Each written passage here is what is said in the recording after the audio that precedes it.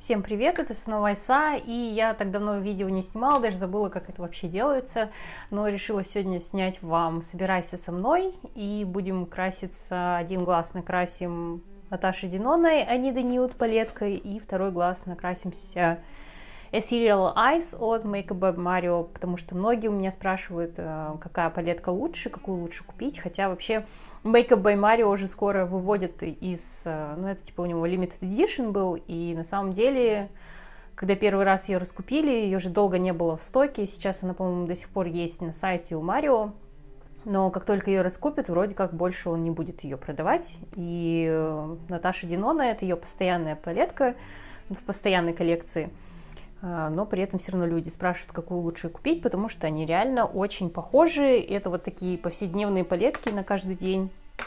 Я делала сводчи сравнительные, и отдельно посводчила матовые, отдельно посводчила шиммеры, и мне показалось, что они прям, ну, не один в один похожие, но слишком похожие, чтобы обе оставлять в коллекции, поэтому сегодня я начну э, краситься.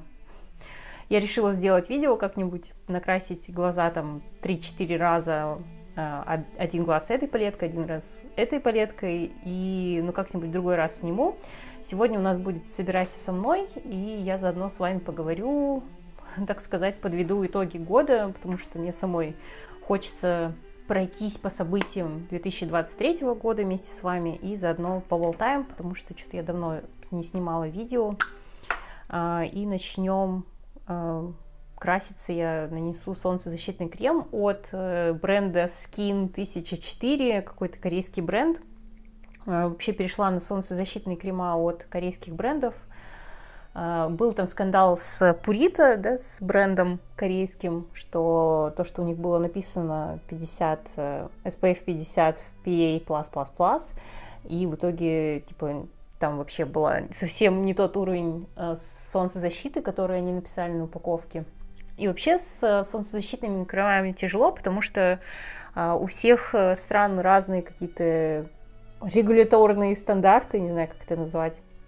И поэтому, например, в Австралии, да, тут вообще другие совсем стандарты.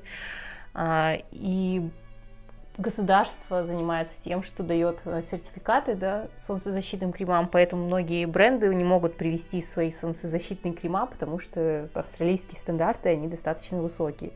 Но я этот крем покупала на сайте YesStyle э, корейском, поэтому никакие руки австралийского правительства туда не дотянулись, э, так что я не знаю, насколько соответствует заявлениям. Но сам крем мне нравится то, что он не липкий, он э, под тональный крем нормально ложится и не оставляет никаких... Ну, лицо немножко высветляет, прям совсем чуть-чуть, но все равно он такой очень комфортный. А, и, в принципе, меня устраивает по всем параметрам. Вроде как э, не было у меня проблем, не было каких-то там пигментных пятен после того, как я на солнце похожу, поэтому мне, в принципе, нравится крем. Называется он Skin 1004, и он с сентеллой в составе. И тоже это SPF 50 PA+++. Вот. Дальше я нанесу в качестве праймера э, от Hydra Grip праймер от Milk бренда. Блин, я уже забыла, как продукты вообще называются, такой бьюти-блогер тоже мне. Все очень его хвалили, и отзывы на него всегда хорошие. А, действительно, на нем он такой когда наносишь его на лицо, он немножко липкий, и если какие-то тональные крема, которые скользят слишком сильно, да, какие-то супер силиконовые, и которые, не знаю, как-то легко с лица слазит, а, если нанести эту базу, действительно, как-то, мне кажется, дольше, что ли, он остается на лице, тональный крем, плюс э, он чуть такой немножко увлажняющий, вот, но при этом, если его слишком много нанести, э, то прям вместе с тональным кремом он начинает кататься, вот, я сейчас что-то прям слишком много нанесла. Я помыла руки, не хочу даже его дальше, этот праймер, разносить по лицу э, руками, потому что начнут руки потом липнуть, и лучше я это сделаю кистью. Так, на самом деле у меня, помимо вот этих прыщей на подбородке, мне на самом деле нравится, как моя кожа выглядит сейчас. Я сейчас пользуюсь корейской всякой уходовой косметикой, и мне нравится, как она улучшила, мне кажется, текстуру. То есть у меня нет каких-то прям... Ну, у меня были шпоры более расширенные на носу, были какие-то маленькие бугорочки. Сейчас, мне кажется, у меня их, ну, они все равно есть немножко, но как-то их меньше стало. И кожа выглядит такой увлажненной. В общем, если бы не прыщи, то мне, в принципе, устраивало, как моя кожа сейчас выглядит. И сейчас в качестве тона все равно мне придется закрывать прыщи консилером, да, и прочим. Так что какая разница, какой тон. На всем остальном, э, на всех остальных участках кожи мне нормально смотрится, э, мне кажется, достаточно однородный тон, поэтому, мне кажется, тинта будет достаточно. Э, это тинт, да, Fresh Water Tint от Chanel. Он мне нравится тем, что он такой очень легкий, на лице он не особо чувствуется, и тоже какой-то у него увлажняющий эффект немножко есть. Рассказывать вам про 2023 год, э, ну, я не знаю, я мало снимала видео, потому что я учу сейчас в магистратуре на Computer Science, то есть э, я даже не знаю, как в, ну, как в других странах называются да, эти курсы на разработчиков. У нас называется Computer Science, на самом деле есть разные названия курсов, да, есть, например, факультет IT, да, есть факультет Science. И, насколько я знаю, типа Computer Science считается такой более серьезный факультет, э, и вот именно Computer Science вроде мне как рекомендовали, но мне, короче, вообще не нравится, потому что это какие-то устаревшие технологии, и часто мы учим какие-то вещи, которые вообще в работе особо не нужны, и учеба плюс работа меня немножко подкосили. Я уже вот пять э, лет работаю разработчиком, да, ну, software engineer, вот, и, не знаю, наверное, у меня началось выгорание или что, но что-то вот перестала меня работа радовать. Раньше мне вообще, ну, я прям любила работать, и у меня не было проблем с тем, чтобы после работы, да, еще там что-то доделывать, но сейчас у меня реально, ну, э, пропал энтузиазм не то, что я прям ненавижу свою работу, но как-то вот, ну, не знаю, работа стала работой. Не было как-то особо времени отдыхать, потому что э, магистратура, она, типа, несмотря на то, что она, она, типа, на частичную занятость, как это называется, заочно, несмотря на то, что она заочная, они все равно рекомендуют 20-24 часа в день, э, ой, в день, в неделю, и я, естественно, не не учусь столько времени, и в итоге у меня постоянно какой-то стресс, когда начинается там... Ну, тут нет как бы сессии как таковой, то есть у меня юниты... Блин, мне кажется, у меня консилер испортился. Как-то он подозрительно блестит, такая текстура у него поменялась, как будто какое-то жирное масло сверху. Мне кажется, консилеру пора сказать пока. Буду консилер другой тогда использовать. Это был консилер у меня от Rose Ink я показывала его на канале, он, в принципе, хороший, он такой не очень фиксирующийся, но зато на какие-то, когда там, не знаю, пытаешься подсушить прыщи, еще высушивается кожа вокруг прыщей, и получаются такие вот сухие участки кожи, и вот такой вот влажный консилер хорошо к ним подходил. И, может быть, он носился не особо хорошо, но зато он не подчеркивал сухие участки кожи. Вот. Я пользуюсь еще вот таким вот консилером от Худы, э, это называется Overachiever. И мне, в принципе, он устраивает, он больше фиксируется, чем э, от Rose Ink, но он зато подчеркивает какие-то сухие участки кожи. Э, его хорошо под глаза, мне, по крайней мере, под глаза нормально было его наносить. Но мне кажется, худо вывела уже его из своего ассортимента. Я его купила по какой-то адской скидке, там чуть ли не 70%. Вот. И в итоге он мне понравился, но мне кажется, больше она его, не знаю, продает или нет. Про что я говорила? я забыла. Ну вот, значит, не то, что у меня выгорание началось, но, в общем, я устала учиться и работать. И у меня еще, я хожу к психологу, да, как вы знаете. И у меня в этом году какой-то большой прорыв, мне кажется, случился, потому что, ну, я же пила антидепрессанты год, и вот прошло где-то, наверное, полгода, как ко мне вернулись мои эмоции наконец-то, а, и меня начали наконец-то радовать какие-то повседневные вещи, начали радовать, не знаю, прогулки какие-нибудь, то есть идешь, погода хорошая, там птички поют, а, и просто какая-то радость появляется. У меня раньше такого не было, а, и я поняла, что, наверное, у меня все-таки была депрессия, хотя у меня, ну, антидепрессанты я пила больше из-за того, что у меня были, типа, панические атаки, вот, но, видимо, депрессия у меня тоже была, потому что сейчас все приходит в норму, и вернулись мои какие-то эмоции, я поняла, что я вообще на самом деле очень эмоциональный человек, а, и, не знаю, никогда не считала себя каким-то креативным, да, человеком, а, но я поняла, что вот мне реально нравится там искусство, мне нравится музыка, мне вот хочется что-нибудь такое тоже создавать. И не знаю, я думаю, может вообще пойти на режиссера учиться. Ну, короче, 35 лет, и я еще не закончила, блин, магистратуру, уже думаю, куда дальше пойти учиться. В общем, я не знаю, хочется чем-нибудь творческим заниматься. Я вон даже начала роман писать. Ничего не писала никогда, и решила сразу начать с романа. Ну, в смысле, я писала раньше какие-то прям вообще в детстве, там, в средней школе какой-нибудь. Типа, написала пару коротких рассказов, и я даже выиграла, как выиграла. Я заняла второе место на конкурсе рассказов, вот, как раз в средней школе. Ну, не знаю почему, при том, что мне всегда нравилось рисовать там и нравилось э, писать, а, мне нравилось читать, смотреть фильмы, но я никогда не думала о том, что я вообще, ну, как бы, вроде как творческий человек получается тогда и можно какую-нибудь э, творческую профессию попробовать. То есть у меня ну, даже мыслей не было никаких вообще, и я не ходила ни музыкалку, не ходила в художку, а, и, ну, несмотря на то, что мне очень нравилась э, литература, у меня не было никаких мыслей, да, то, что можно это сделать профессией, да, там, не знаю, даже там каким-нибудь критиком. Мне нравится моя работа, опять же, но можно же еще что-нибудь другое попробовать. Никто же не говорит, а, что нужно обязательно попробовать и сразу там кем-то стать. Можно просто ради интереса и своего удовольствия это сделать. Курсы, правда, достаточно дорогие. Вот. Не знаю. И тут я еще думаю, блин, ну я же вот, например, а, видео, да, на YouTube, это же тоже творчество, это тоже ты там что-то создаешь. Вот. А, почему я перестала их снимать, но просто не знаю.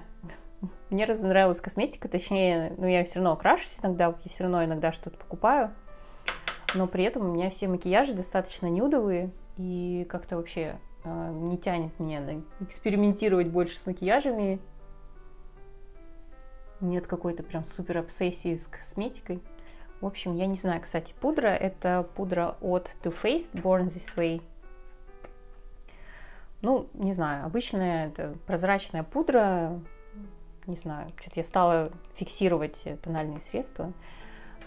Хотя сейчас у меня только тинт на лице, но я все равно вот уж немножко зафиксирую, потому что лето, жара, ну, как бы немножко помогает, э, мне кажется, с текстурой, с этими прыщами, заблюрить чуть-чуть лицо. Кстати, мне эта пудра нравится даже чуть меньше. Есть э, пудра от Maybelline еще у меня, Э, которая Fit Me, и она, мне кажется, блюрит даже больше, чем это. Ну ладно, сойдет, мне кажется. Все равно видно прыщи, но ничего с ними не поделаешь.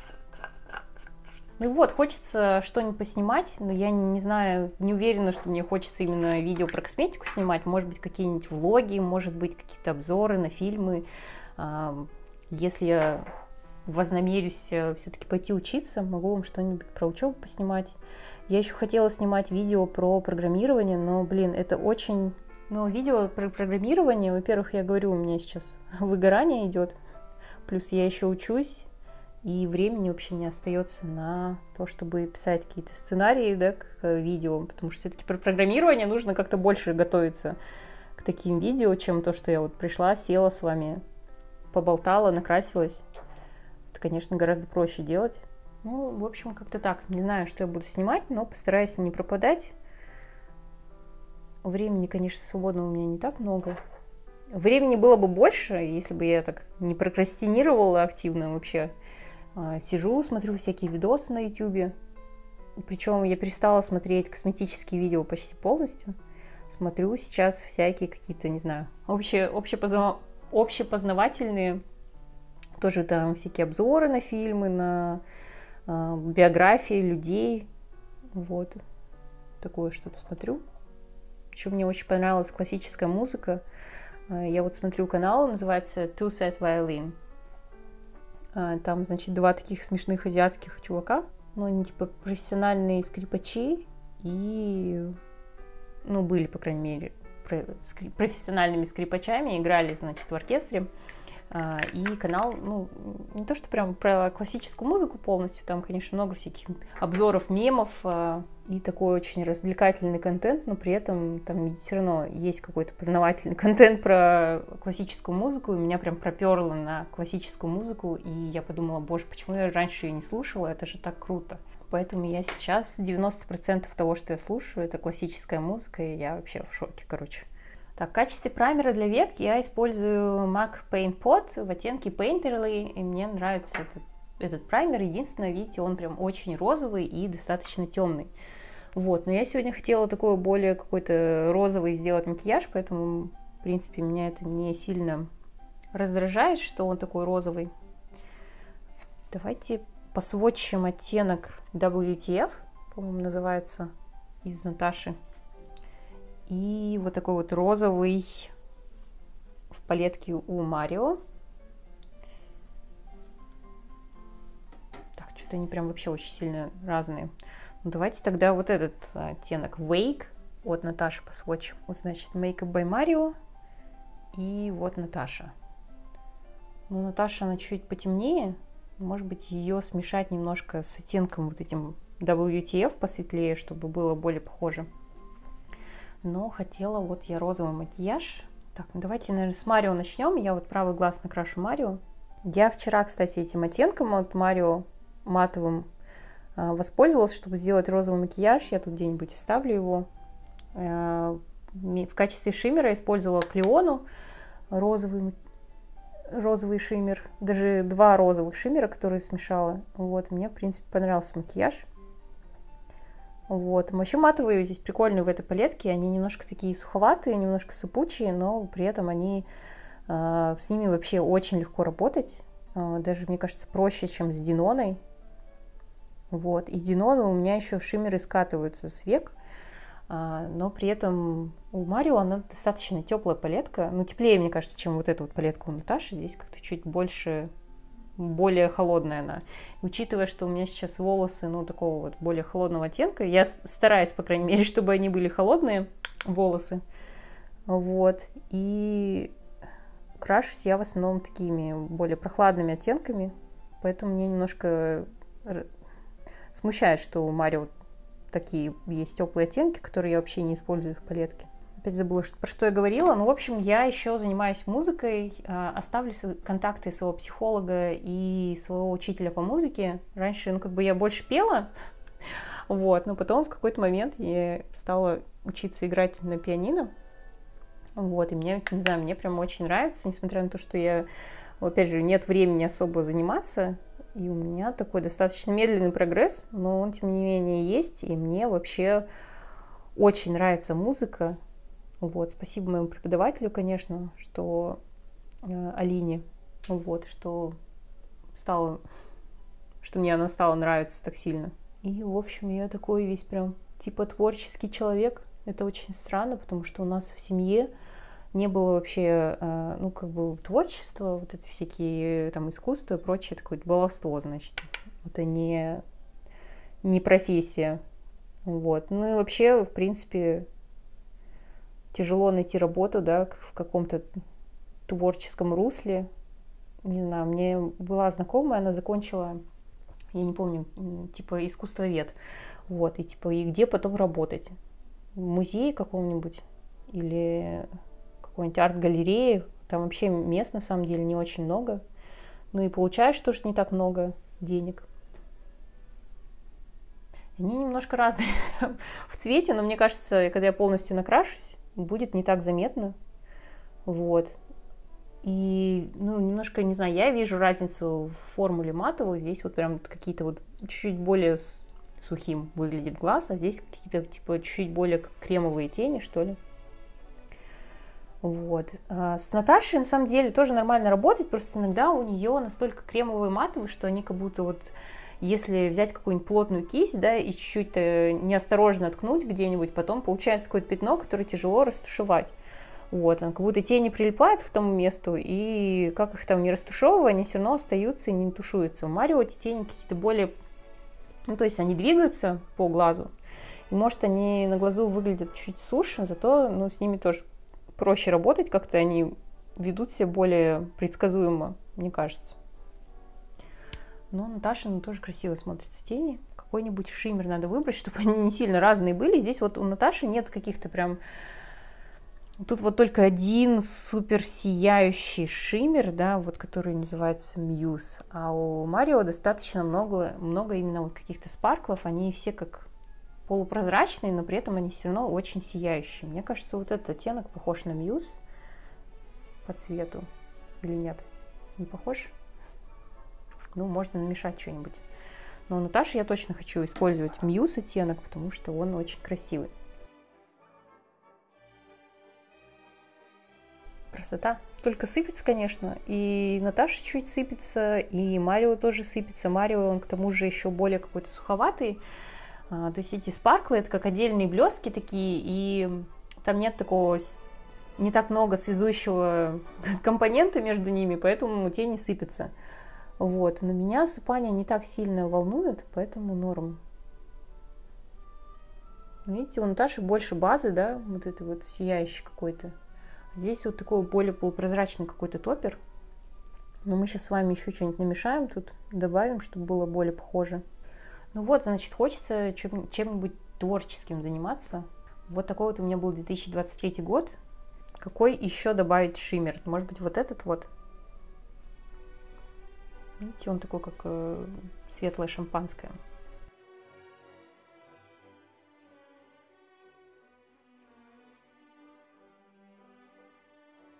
Что еще делала в 2023 году? Я сдавала экзамен PTE, это Pearson Test, Pearson View Test. Не помню, как точно называется тест, но, в общем, это на English Proficiency, то есть на знание английского языка. Он мне нужен был для того, чтобы я хочу получить другую визу, а, сразу, которая идет с видом на жительство. А, и для этого мне нужно закончить как раз учебу, потому что ее тот тип визы, который я хочу, это виза независимого специалиста. И это типа выдается правительством Австралии для тех э, профессионалов, чья профессия есть э, в листе требуемых профессий для Австралии. Вот, но из-за того, что у меня нет технической степени, да, которая соответствует той профессии, которой я сейчас работаю, ну, разработчиком, у меня есть типа диплом э, врача, который вообще никак, никаким боком не относится к моей нынешней профессии, поэтому я не могла подаваться на эту визу, потому что меня Тут есть такое австралийское компьютерное сообщество, которое выдает тебе сертификат, что ты, да, действительно там специалист, да, действительно инженер. А, и у меня не было как раз степени не хватало, поэтому я пошла учиться. А, и мне нужно было еще сдать этот English Proficiency тест на Superb. То есть это вообще превосходное, то есть это высшая типа, категория знания английского языка, а, чтобы получить, короче, больше баллов там такая балловая система, да, то есть нужно за каждый пункт получить какое-то количество баллов, да, за опыт работы, опыт работы был ли он там в, в Австралии или там в иностранной какой-то, в другой стране, а, там разное количество баллов дается за а, этот опыт работы. И за техническую степень, за знание английского, за все дается, короче, балл, даже за возраст даются баллы. Вот. И если у тебя достаточное количество баллов, то тебе правительство может выдать эту визу. Вот, короче, поэтому я сдавала еще этот English Proficiency тест. Я сдала его на 90 баллов из 90. Я вообще была в шоке, потому что это было после корпоратива, и я прям вообще была очень пьяная. В смысле, у меня был похмелье, и я не собиралась даже идти сдавать, потому что я думала, я точно его завалю. Я думаю, в качестве затемнения буду использовать вот этот оттенок у Наташи. И похожий оттенок буду использовать из палетки Марио. Вот. Ну, в общем, я сдала этот тест. Э, я к нему готовилась год назад, когда я первый раз его сдавала. И я, ну, тоже неплохо его сдала, но не на Superb. Вот. Поэтому для меня это было, конечно, большое удивление. Ну, я помнила структуру теста, да, из-за того, что я год назад готовилась, вот, но в этот раз я вообще не готовилась. То есть я есть там тренировочный сайт, на который, ну, типа, я купила даже подписку на один месяц, и в итоге вообще его не открыла. А, пришла с похмельем а, и сдала, значит, вообще я в шоке. Так, я хочу вот этот оттенок использовать. Не знаю, тут у Марио на самом деле названия оттенков, они все какие-то буквенно-циферные. Вот, и я, естественно, их не помню и не вижу. Так, ну вот это прям светлее оттенок. Я, наверное, буду его мешать с каким-нибудь... С вот этим, наверное, буду оттенком мешать. Вот, какие-то разные глаза получаются, ну ладно. И еще в этом году я съездила, значит, э, в США первый раз и съездила в Южную Корею. Поездка в США была прикольная, потому что я, ну, типа, стала постить э, сторис, что я в США, и мне сразу написали пара девчонок, давайте встречаться, короче, и это было прикольно, потому что в Австралии, сколько я живу, я встретилась только вот с, с одной вот девушкой, потому что э, она у меня в розыгрыше выиграла палетку, и мы как-то э, пересеклись, в общем, с ней. Она, оказалось, тоже живет в Виктории, в штате, в котором я живу, так в другом городе. Вот, и это было очень неожиданно. Вот. Но я почему-то ни с кем больше не пересекалась, хотя есть еще пара людей, которые тут живет. А, нет, я еще с другой девушкой пересекалась, которая вот из Украины уехала сюда. А, и мы пару раз встречались. Вот. Этот глаз темнее. Ну ладно, ничего страшного. Все равно немножко похоже. Поэтому я вот говорю, я не знаю, зачем э, они нужны мне обе, эти палетки. Ну вот, в США мне не очень понравилось на самом деле, потому что, может быть, я не в те города поехала. Потому... Я понимаю, что США это такая гигантская страна, и каждый штат, он вообще абсолютно друг... как, другой, как другая страна. Это как страны внутри страны. И мне, возможно, понравились бы больше какие-то другие штаты. Но я поехала, в общем, там была конференция по Real-Time Analytics, вот, в Сан-Франциско. А, и я заодно, ну, как бы я сама оплачивала себе поездку, мне только на конференцию купил билет э, компания. Вот. Ну, я думаю, раз приехала, заодно съезжу, посмотрю на какие-нибудь, э, ну, другие города. Э, я прилетела в Лос-Анджелес, потому что прямые перелеты из Мельбурна есть только в Лос-Анджелес. Вообще мне не хотелось туда ехать. В Лос-Анджелесе там, значит, Голливуд, Э, Диснейленд, всякие какие-то аттракционы. Мне такое не очень интересно. Вот. И просто из-за того, что были прямые перелеты, я туда прилетела, и я там была только два дня, и особо никуда не ходила. Мне не понравилось, он какой-то очень грязный, очень шумный, никто не ходит пешком. Я вообще единственный человек, который ты идешь по улице один просто, больше нет э, людей, которые ходят пешком. Э, там единственный вот район, который Венес, да, э, там, где пляжи, там, где такие люди фитнесом занимаются, все такие потянутые, бегают. Короче, прикольные. Вот. Остальные районы, в которых я была, мне не очень понравилось. Может, я не те, не те места смотрела, но что-то как-то вот показалось, как какой-то большой грязный шумный Сидней. Потому что Сидней тоже такой он пляжный город, и такой у них одинаковый вайб, мне кажется, но Сидней, он хотя бы почище, он красивее, и там, ну, пляжи лучше, честно говоря. Вот.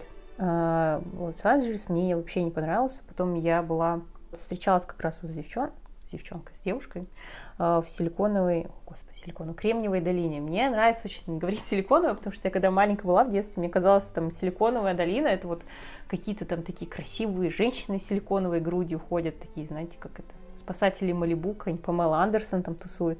Вот, оказалось, что это Кремниевая долина, и это не очень интересное место, ну, для ребенка было. Поэтому мне силиконовая долина нравится больше. Мне кажется, прикольнее звучит. Вот. Ну вот, значит, я съездила туда, было интересно. Мы съездили в э, Стэнфорд. Это было рядом с Сан-Франциско. Почему я пере, перепрыгнула на Кремниевую долину? Я не помню. Но Сан-Франциско, не знаю, мне бы понравился город, он сам по себе красивый, но там было столько бездомных вообще. Ну вот в Лос-Анджелесе тоже было, ну, достаточно много бездомных, хотя я вот есть у них там место, называется Skid Row, да, там, ну, Варламов туда ездил. А, и я смотрела, есть канал какой-то, забыла, White, White Underbelly, что-то вот такое называется, и там какой-то бывший фотограф, он э, снимает про всяких э, торчков, да, про всяких э, бомжей с этого скидроу. И это очень грустно, потому что там много всяких грустных историй, да, там кто-то там с детства начал проституцией заниматься, кто-то там, не знаю, какая-то столкнулся там с домашним насилием, оказался да, на этом скидроу. И очень грустно, учитывая, что, ну, типа, ну, Америка, да, богатая страна, страна возможностей, там прочее. Вот, но там много бездомных каких-то, которым вообще, ну, никому, которые никому не нужны, государству не нужны, а, и, не знаю, семье тоже, наверное, не нужны. И это очень грустно, потому что прям очень много бездомных. Ну, как бы в Австралии тоже есть бездомные, но не в таком количестве. То есть э, в Лос-Анджелесе, да, и все равно их постоянно видишь везде. Вот, есть там прям какие-то улицы, просто палаточный городок, значит, все живут в этих тентах прямо на, на улице. А, но в Сан-Франциско это вообще трэш какой-то. Там вот этот э, район, э, я забыла, где, рядом с Маркет-стрит, а, Тендерлоин называется, вот. И, и там, значит, очень много бездомных вообще. Просто какой-то идешь, как будто постапокалиптический мир. Одни бездомные и ты. Вот. И все какие-то еще не просто бездомные, они там на, под чем-то все стоят там, не знаю, с Богом разговаривают, кто-то там стоит, танцует.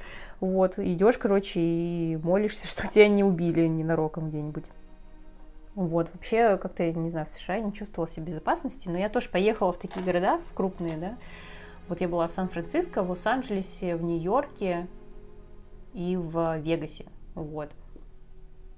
Вегас мне вообще совсем не нужно было, но я решила съездить, потому что э, захотелось посмотреть такое странное место, мне кажется, где все такое фальшивое, э, где есть куча каких-то странных очень аттракционов, Вегас был прикольный, но, не знаю, я вот там была дней пять, наверное, и мне кажется, больше там особо делать нечего.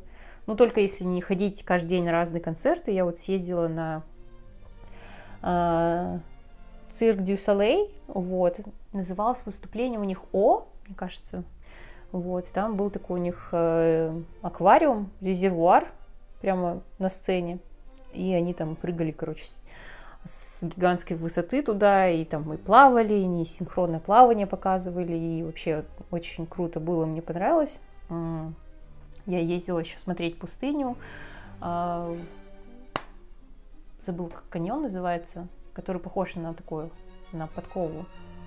Вот, и ездила я еще, прыгала с очень высокого здания, там 200 с чем-то метров, Вот, я не знаю, зачем я прыгала, у меня даже видео есть, я, может, вам сейчас покажу.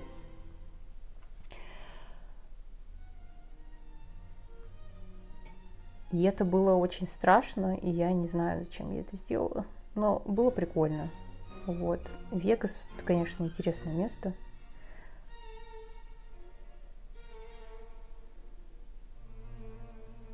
Так, ну вот такие глаза получились, ну разные, ну, ну что поделаешь. Ну, не знаю, Наташа, мне кажется, глаз мне больше нравится. Вот, но Марио тоже ничего такое. Тут просто больше какого-то контраста, я не знаю, может, давайте я сейчас еще чуть добавлю затемнение себе. А, тут вот есть потемнее матовые, но они все какие-то более теплые, чем мне нужно. В общем, Нью-Йорк мне больше понравился. Я там еще встретилась с, с девчонками, с бьюти-блогерами, с Яной и Саней. И мы там хорошо потусили вместе, вообще было прикольно.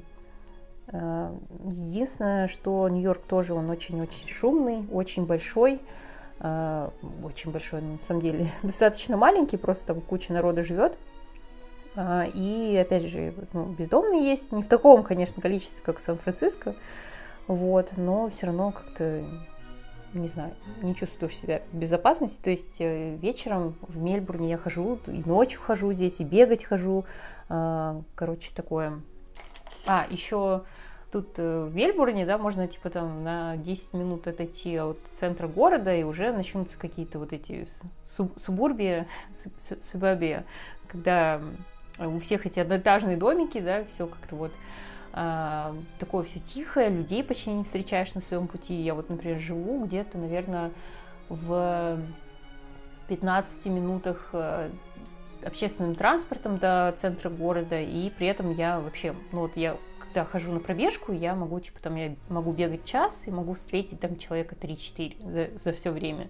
И у меня есть где бегать, тут есть какие-то природные зоны, есть какие-то э, парки и прочее. Вот. А в Америке, мне кажется, ну, не знаю, по крайней мере, Мельбурн все равно считается крупным городом, и, не знаю, в Америке вот есть ли такие крупные города, где прям совсем близко к центру города есть какие-то вот участки где живут мало людей, где много природы. Но при этом, конечно, в США природа более такая разнообразная, да, есть там у них и горы, и э, какие-нибудь там, не знаю, ледники, и супер жаркие пляжи. Вот, и вообще, ну, каждый, как я говорю, каждый штат, он как отдельная страна, да, с своими законами, с своей природой, а, с каким-то своим вайбом, значит, и можно найти себе по душе какое-то место, но я вот как-то не нашла в эту поездку, мне не очень понравилось. Еще мне не очень понравилось, что вот э, в Штатах как-то очень нужно быть, короче, на чеку постоянно. Нужно уметь себя продавать, да, когда ты там э, получаешь работу, нужно там, чтобы тебе сделали нормальный офер, да, по зарплате и по условиям, нужно уметь себя продавать.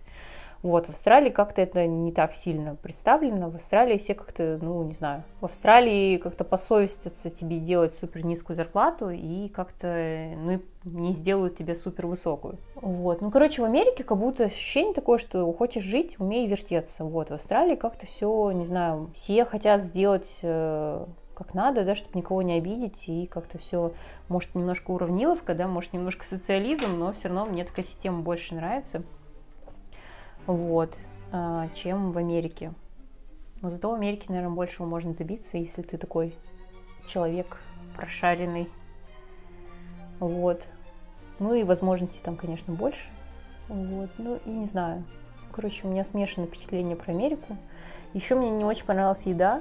Чтобы там нормально поесть, нужно какое-то ну, более дорогое место зайти. Потому что в Австралии можно очень вкусно поесть в любой забегаловке почти продукты какие-то более свежие, не знаю, я вот э, ходила в эти супермаркеты, да, которые Whole Foods, я думала, там какая-то неземная органика по э, все такое будет супер вкусно, там реально такие же бренды, как у нас в обычном супермаркете продается, только раза в три, наверное, ну, раза в два дороже, вот, чем в Австралии. Ну, в Австралии, конечно, зарплата поменьше, но все равно это было очень странно.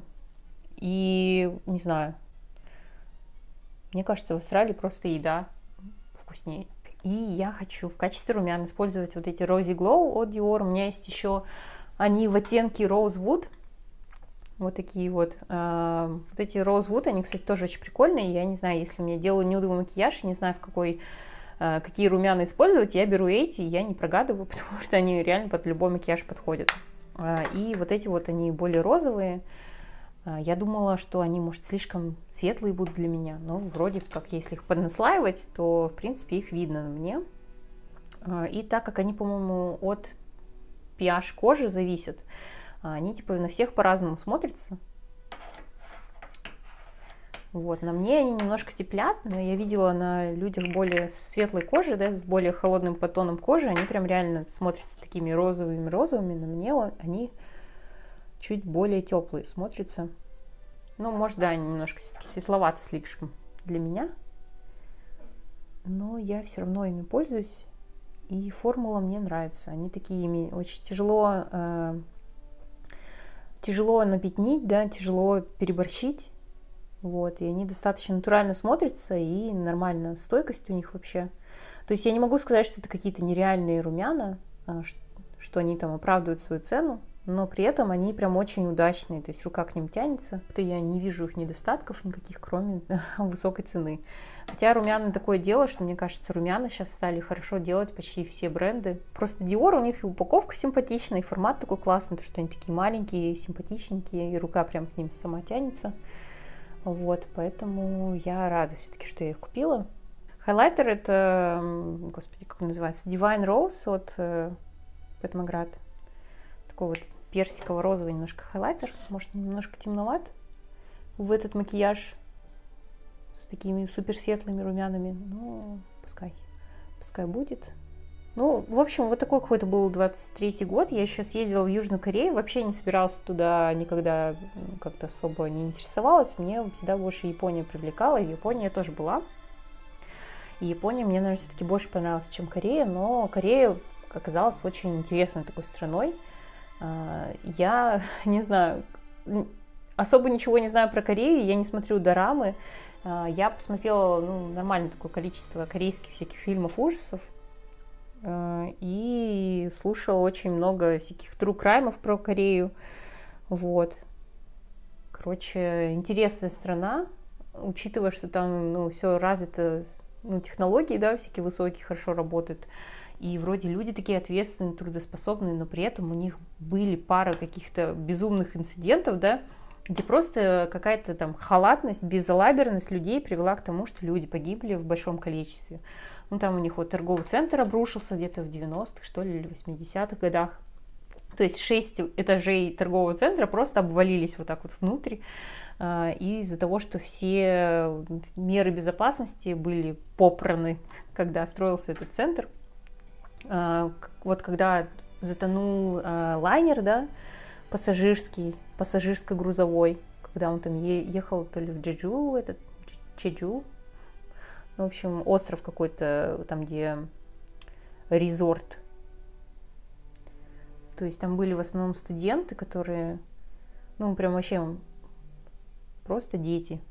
И погибло огромное количество людей. И при том, что он очень медленно тонул, и они могли, в принципе, всех спасти, если бы, опять же, не безалаберность и халатность. И вот. Ну и есть там какие-то еще всякие интересные true crime story.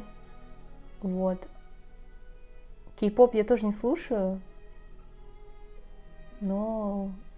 А, я еще посмотрела, господи, «Паразиты».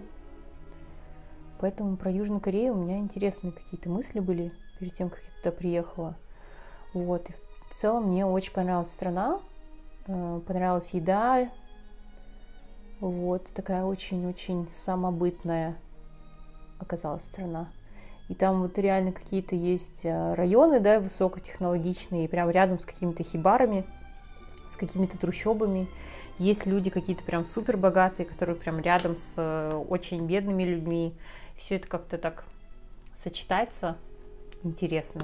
И там вот эти дворцы, да, рядом с небоскребами, всякие буддийские храмы в центре города. Это очень интересно. В общем, понравилось Корея. И я вот там как раз покрасилась. И мне кажется, это не конец моим покраскам. Я еще хочу в какой-нибудь лавандовый покраситься, может быть, потом даже в розовый. Ну вот, когда я была в Корее, там, конечно, люди работают просто... Я отвыкла от такого, потому что там, типа, кофейни есть, которые работают, да, а, до 11, до 12 ночи. И то же самое с парикмахерами. Вот. Вот моя парикмахер, которая меня стригла, она мне говорит, у нее, типа, в прошлом месяце был один выходной, и в этом месяце у нее пока не было выходных, и я просто в шоке. А, и там, типа, и банки работают. Ну, короче, все заведения работают прям до ночи. Я отвыкла от такого. В Австралии все, не знаю, кафе закрываются, да, там, типа, в 4, в 3 часа уже никто не готовит э, еду. И, э, и типа, там, а, не знаю, рестораны тоже открываются там в 6, в 7, не знаю, вечера. Вот. А, в Корее, конечно, люди себя там урабатывают. Ну, как бы я, когда жила в Москве, там наблюдала то, что такое, и сама в этом участвовала, да, то есть я могла там 300 часов отработать в месяц, вот. Но вообще это было, конечно, чувствуешь себя немножко зажатым человеком, зажравшимся. Ну, типа, я работаю там 5-2 по 8 часов в день а, из дома, вот, и такая вся, ой, может быть, мне какой-нибудь творческой профессией заняться. Короче, человек зажрался как-то странно, вот я смотрю в э, видео, видоискатель, и вижу, что по-другому вообще смотрится блеск. В реальной жизни он как-то больше в этот макияж подходит. Это блеск э, черный от Эльф э, из коллекции Cookies and Cream. Это, кстати, кто-то из вас мне написал в комментариях, когда я делала свой самодельный блеск с черной базой для век от P. Louise, намешала его в прозрачный блеск от Джеффри Стар, у меня получился типа черный блеск потому что я видела где-то видео, э, как сделать такой аналог крему, ой, крему, блеску от Исамай Френч черному. И кто-то мне написал в комментариях, что есть такой, типа, черный блеск от э, Эльф, и он просто холодит так губы, чуть-чуть их э, затемняет. Вот, кстати. Это его личное кресло, потому что у меня, ну, два кресла, вот, и одно лично для него, чтобы он э, не крал мое кресло, потому что всегда я работала, уйдешь в туалет, приходишь, короче, и уже сидит там кот, и мне тогда приходилось стоять. Вот такой вот макияж получился, немножко разные глаза. Я вам еще покажу, как проносился макияж, потому что меня спрашивали, как по стойкости палетки. Мне показалось, что они нормально на самом деле носятся, что это, что там. Так, э, я вам не сказала тушь, это была, это Maybelline Sky High. И что еще использовала, не сказала. Мне кажется, все. Ну, в общем, такой получился макияж. Э, спасибо, что досмотрели до конца. Это сумбурное видео. Напишите, в общем, э, что бы вы хотели увидеть на канале. Были, стали бы ли вы смотреть какие-нибудь там, не знаю, обзоры фильмов от меня? Мне кажется, это, это нечестно. Люди подписались на контент про косметику, а я что-то не очень хочу его делать. Вот, но, может быть, обзоры вот новинок, да, какие-нибудь буду снимать, потому что, ну, я все равно на них поглядываю иногда в Инстаграме, на всякие каналы про Beauty News, вот. И могу для вас это делать, потому что, ну, и заодно для себя потому что косметикой все равно я пока интересуюсь. Напишите, а, в общем, что вам интересно. А я, значит, э, пошла дальше по делам. Напишите еще, как у вас 2023 год прошел. Э, не знаю, у меня был очень странный год, который был просто, ну, не сдохло и ладно, как говорится. Нормально он прошел, потому что просто перестала смотреть новости вообще. Э, несмотря на то, что, не знаю, война еще идет, ну, российско-украинская. Вот, еще этот Израиль с Хамасом там сражается. Короче, вообще в мире какой-то трэш творится, постоянно какие-то шутинги, какие-то, не знаю, может, я раньше, ну, может быть, это все не так сильно освещалось, но вообще смотришь реально какой-то конец света, какие-то, ну, мирные абсолютно города, да, и какая-нибудь какая там жесть случится вообще посреди белого дня. А, так что вообще нигде не безопасно, и мне кажется, в такой ситуации нужно жить жизнью вообще вот не откладывать на завтра и жить так, как ты хочешь. Вот. Для меня это главный вот вывод из этого года. Я вот ну, работала с психологом, да, и все пытаюсь понять, что мне хочется делать, что мне нравится делать, чем я хочу заниматься, да, и вот такой вот у меня был год. Посмотрим, что будет дальше. А, напишите еще, а, кстати, Э, напишите лучше, кем бы вы хотели заниматься, если бы, ну вот вам сказали, может быть хоть кем угодно, хоть там, не знаю, космонавтом или там, не знаю, хоть э, каким-нибудь морским биологом, вот. Кем бы вы стали, если бы были все возможности. Вот. И на этом у меня все. Спасибо, что досмотрели до конца.